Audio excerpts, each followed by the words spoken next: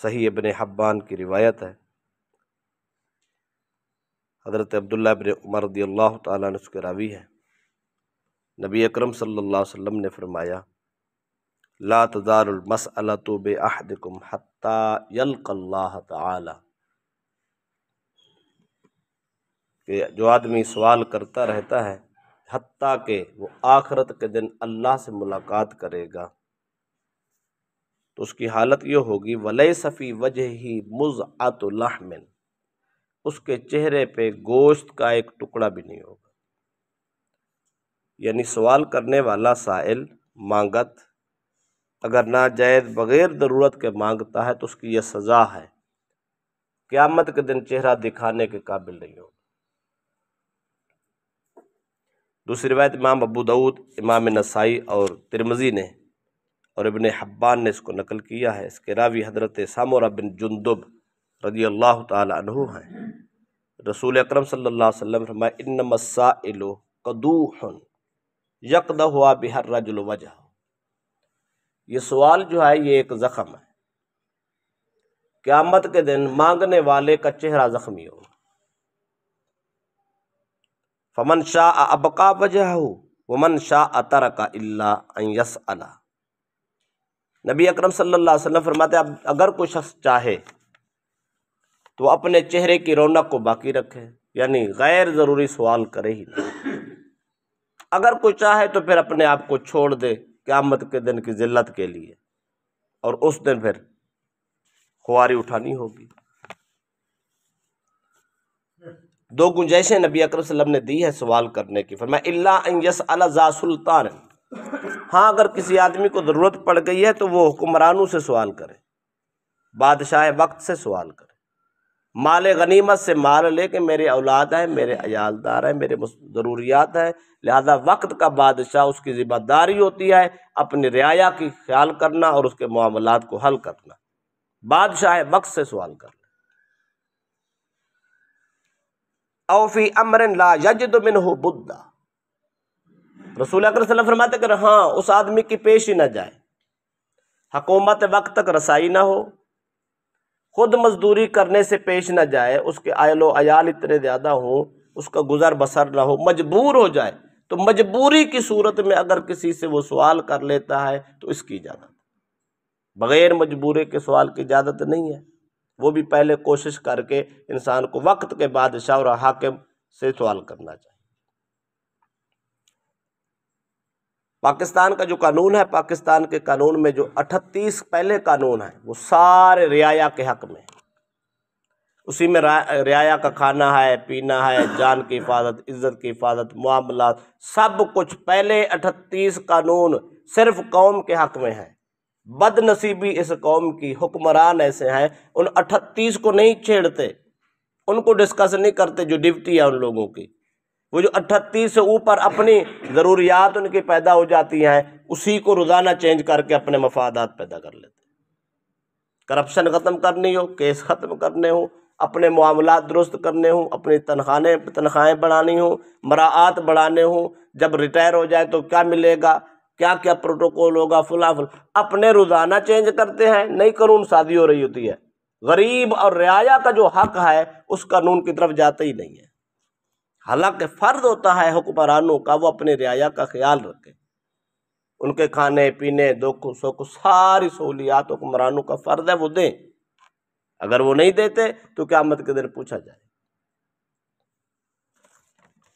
यही बात फरूक आदम रज़ी अल्लाह तला कहा करते थे।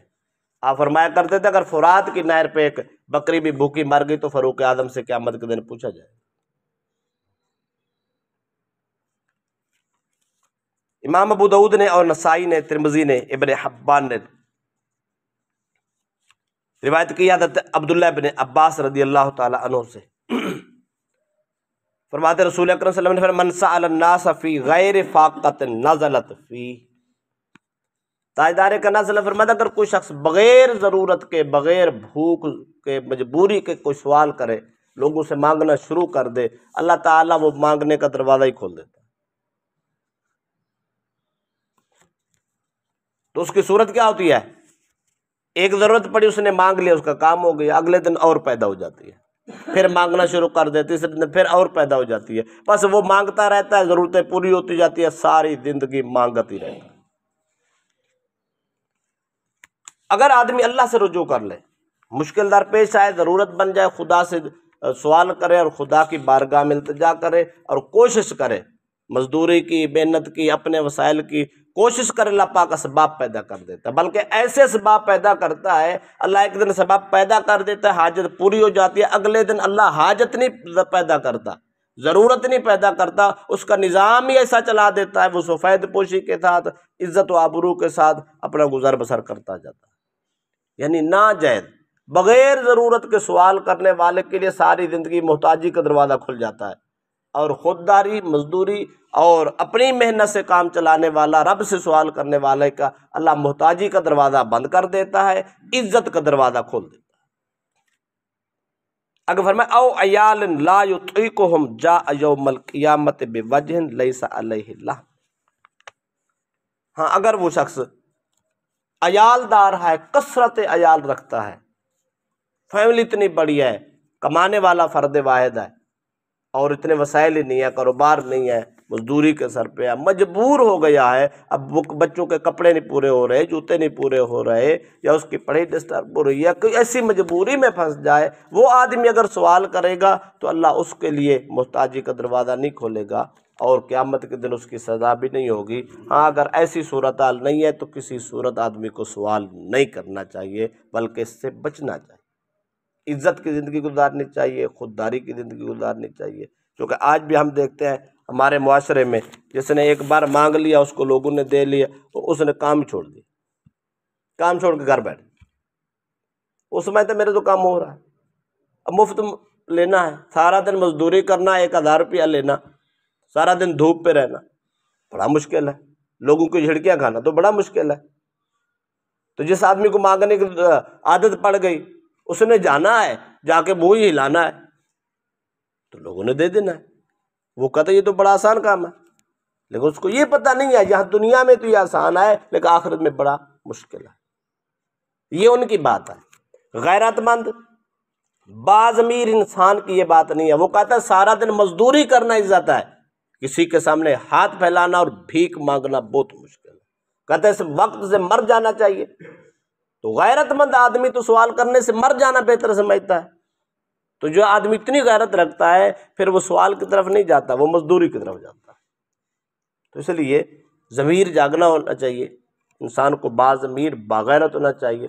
ज़िंदगी में जब तक सीहत है, तंदुरुस्ती है, जान में जान है, इंसान को अपनी मजदूरी, अपने वसाइल पैदा करके गुजर बसर करना चाहिए। खुदा उस मुहताजी से ही बचाए, पूरी पूरी नस्ल को बचाए, ताकि किसी की नस्ल में ऐसा पैदा ही ना हो, ऐसे वक्त ही ना आए, ऐसे हालात ही ना आए कि किसी को मांगना पड़े।